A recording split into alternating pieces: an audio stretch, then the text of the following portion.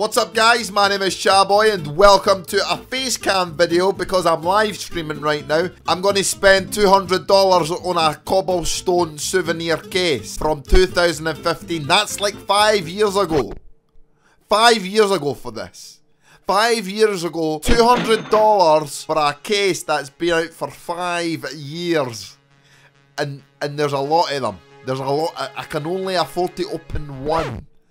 Just one case. So please be something nice. We can get a dragon lore. The dragon lore is something that we would like in this case. Souvenir knight.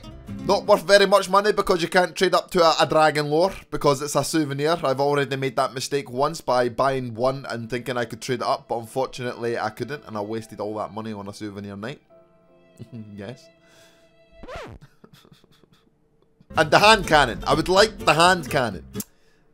But I don't choose what I get in the cases. Only Gaben does. So let's open this case. It's, it's $200. $200 for a case. Do you know how much bog roll I can buy with it? Is that my doorbell? Let's open it. Let, us open this case. Let's, let's, let's do it. Come on.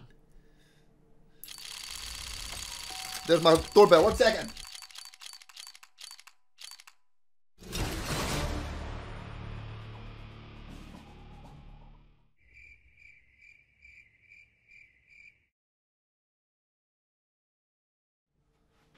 I'm back. I'm back. Did we get something good?